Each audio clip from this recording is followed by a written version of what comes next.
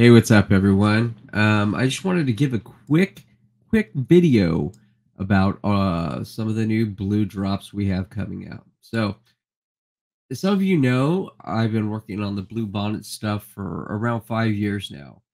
And one of my main goals in doing all this was to go through DJ Short's whole supply en masse, uh, some of the hybrids made with some of his stuff and to kind of find out what the true best blueberry was. And when I say blueberry, I don't just mean the strain. I mean something that looks as beautiful as DJ Short's blueberries looked in his photography over the years since the 90s, as well as having extreme blueberry terps. Now, there's blueberry jam.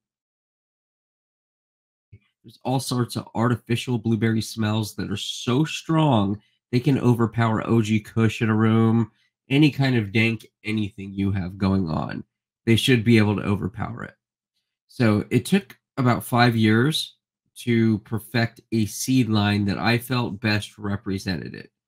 And uh, I feel like we've made it. I feel like I feel like it's in seed form now. I feel comfortable saying that feel comfortable telling people that every pack you can find multiple different expressions of like blueberry slushy, blueberry candy, blueberry bubblegum, blueberry, you know, jam, blueberry compote, you know, like all sorts of blueberry.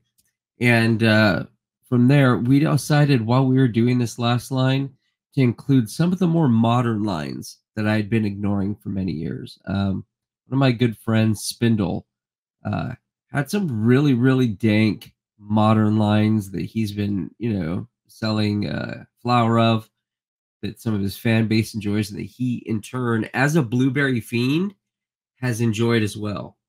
So uh, we took in some sherb cream pie. I don't know who that's from or exactly what's in it but it's so sherby it's so frosty great calyx to leaf ratio not seeing any mold in any of it and we cross that to the the blueberry in cross, and uh, we're calling that blue cocky because you know cream pie, blue cocky, you know, just kind of fit.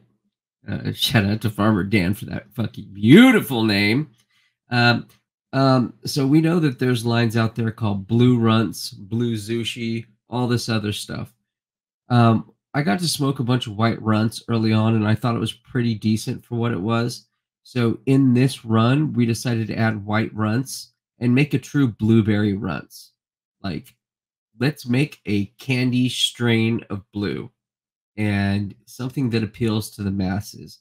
Because the overall idea, like I've been, I've been very much against isolating myself from the cookie crowd, the sherb crowd, the gelato crowd um, I've dabbled in it, but I haven't really fully reached into it.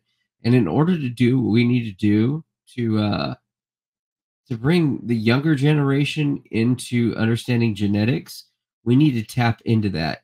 And uh, I felt that the blueberry in cross into like a white Runtz would be an excellent way of doing that, showing that you can breed, you can breed lines that have these true blueberry terps cross them into something and make them something unique.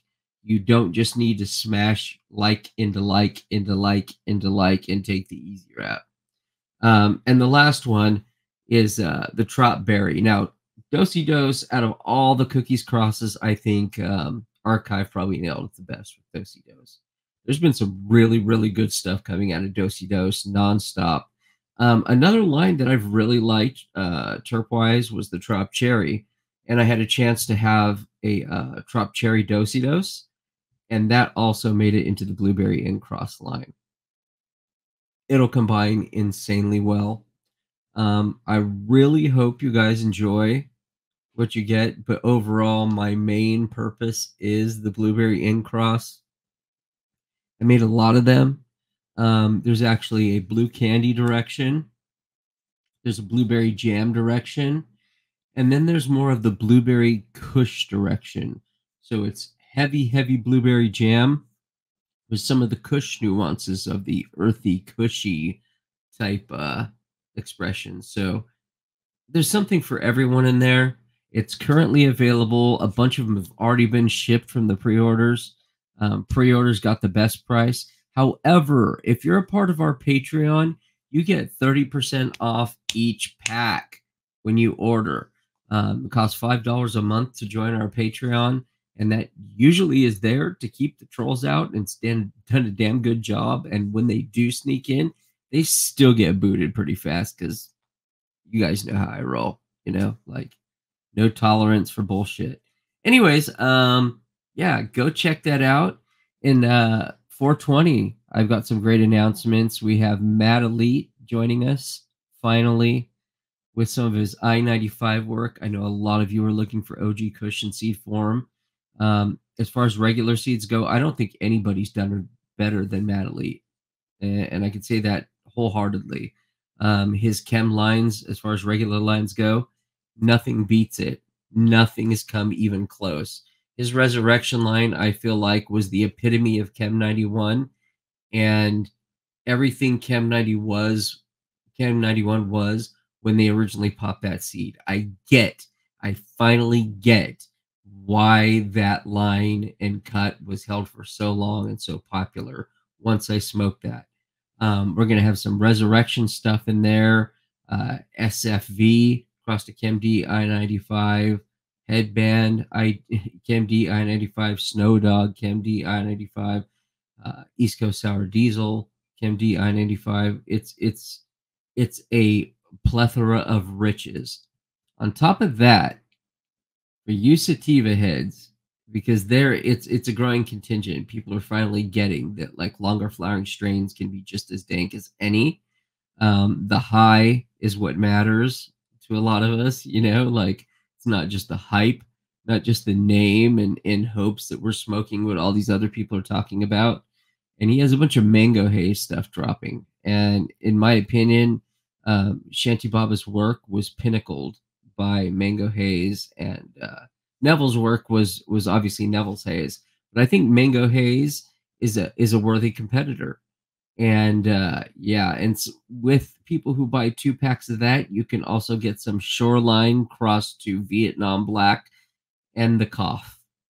So there's a lot of opportunities for some really really dank stuff um, baselines for other breeders to work into their own work, which a lot of us breed for breeders. I feel like what I do is breeding for breeders, much less so than commercial croppers, though it does work for both. Um, there's nothing better than being someone who breeds for breeders, though, in my mind. Like, that's the biggest accomplishment. So, anyway, I just wanted to take a moment to uh, let you guys all know about this stuff.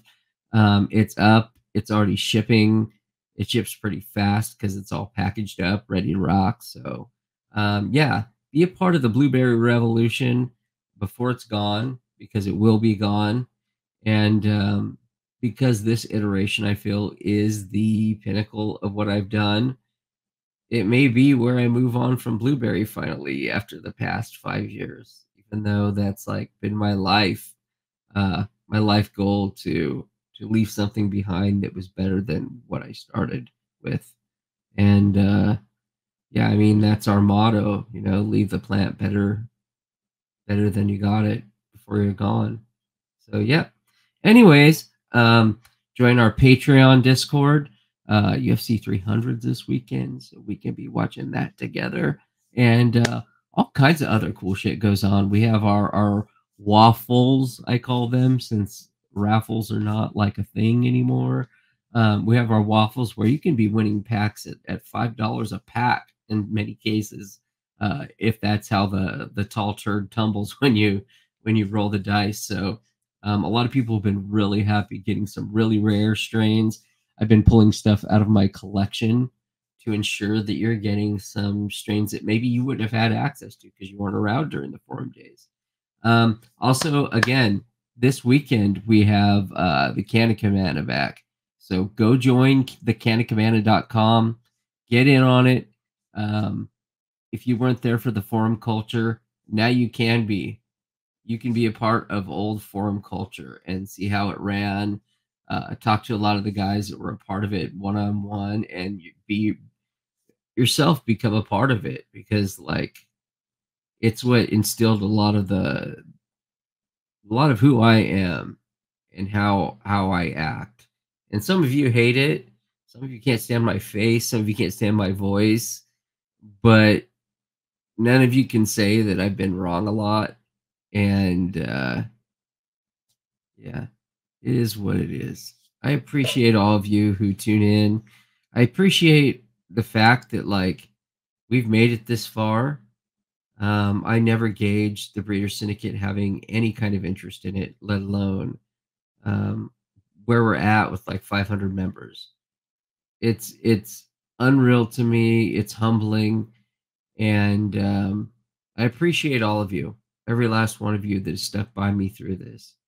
And hopefully, it's just the beginning of many beautiful things to come.